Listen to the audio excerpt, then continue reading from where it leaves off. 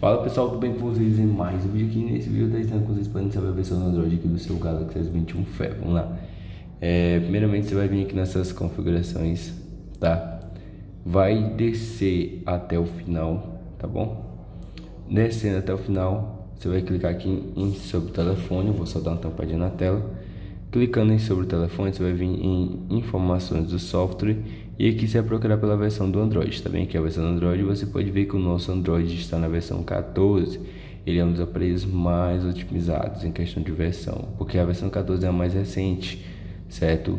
É uma versão muito boa que você pode estar utilizando sem problema no seu é, no seu Samsung Galaxy S21 FE, tá bom?